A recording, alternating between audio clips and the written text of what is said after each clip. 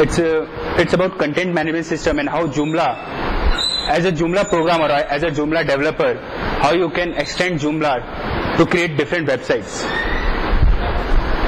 So basically Joomla is uh, web-based content management system out of box. That is, if you install Joomla in five minutes, you have a website running. You don't have to do anything at all, other than configuring on the admin side for a few seconds, few tweaks. It's even simpler because it has its own installer. So it's like an application, simple executable EXE application, wherein you do double click and install the application. It's this simple when you use Joomla as a CMS software. But my idea was to use Joomla as application framework. Why application framework? Because Joomla CMS is built upon a framework that Joomla provides.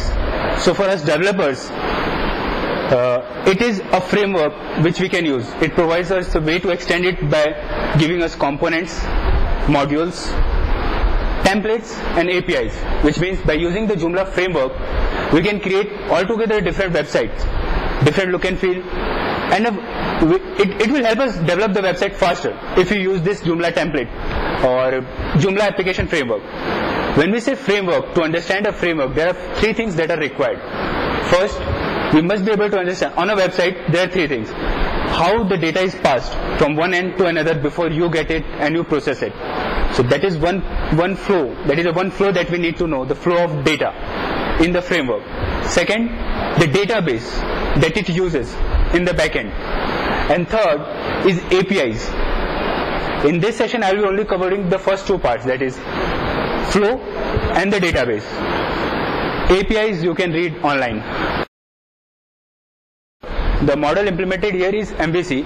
See, as in simple M, uh, MVC model, we have a model, okay, we have a controller and we have a view. Now it's not 100% MVC as in purely 100% MVC style of segregation is not there as it has been implemented in Java or other languages. Herein, it's a mix. When it comes to uh, one flow of control as in always the only file that will be called the controller file will always be called will be index.php the controller in this case is index.php it controls all the flow.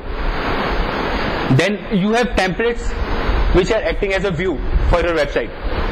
And all those models are either in modules or components which actually represent your data or how to process that data. The knowledge is with components or modules Modules are again a simple way of views, not really uh, uh, models. Models are exactly in the components.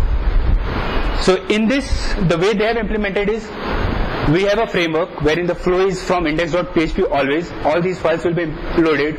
So you have a set of APIs that you can use. Uh, that's a one part of a framework that provides. It provides you with a ready to use APIs for the common problems like database abstraction, uh, valid user validations, data validations, then you know uh, cross-site scripting security features like that, session management, things like that.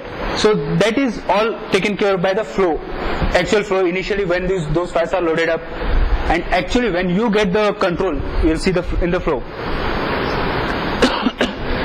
see, we still haven't actually reached the actual logic my program will be implemented in components. My program or my logic will be implemented in components, in modules, and in templates.